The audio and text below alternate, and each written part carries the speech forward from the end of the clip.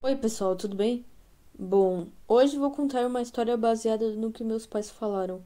Essa é a primeira história que aconteceu há muito tempo atrás. Bom, isso foi há mais ou menos uns 10 ou 9 anos atrás. Eu era um bebê nessa época. Bom, eu estava na creche. Eu estava em um trampolim quando de repente eu acabo caindo. E lembrando, eu tinha um ou dois anos.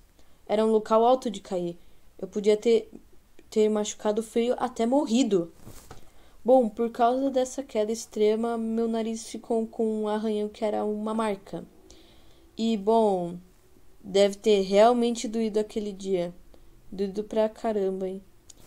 Bom, e, tipo, depois que meu pai viu aquilo, ela xingou a professora, porque a professora não estava olhando. É, mas até onde eu sei era um. Como eles disseram, foi um local alto de cair.